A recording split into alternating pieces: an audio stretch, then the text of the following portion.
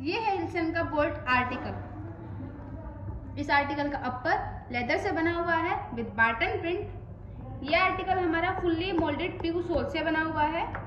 ये आर्टिकल हमारा dual density शू है. इस आर्टिकल का जो आउटर सोल है, वो हार्ड प्यू से बना हुआ है, जो कि पेनिट्रेशन को कंट्रोल करता है और पैरों को प्रोटेक्ट करता है. इसका मिड सोल सॉफ्ट प्यू से बना हुआ है, जो कि पैरों को कंफर्टेबल रखता है easy to walk easy to move करता है. इस आर्टिकल में जो इंसॉक्स का यूज़ हुआ है, वो मेमोरी कंफर्ट इंसॉक्स है, जिसमें एंटी फटीक की प्रॉपर्टी है, जिससे कि काम करने वाले की वर्किंग कैपेसिटी बढ़ती है और काफ़ी कंफर्टेबल भी रखता है पैरों को। इस आर्टिकल में जो स्टील टो कैप यूज़ हुई है, वो 200 जूल्स की है, जो कि पैरों को सेफ़ रखती है सेफ्टी प्रोवाइड करवाती है। इस आर्टिकल में जो लेसिस का यूज़ हुआ है, वो नाइलन लेसिस है।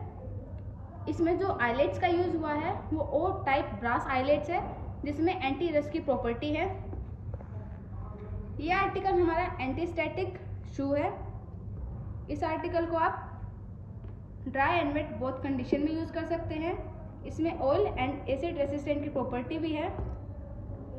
इस आर्टिकल को आप automation industries manufacturing industries industries में आप इसका यूज़ कर सकते हैं। यह आर्टिकल हमारा लो एंकल्ड शू है।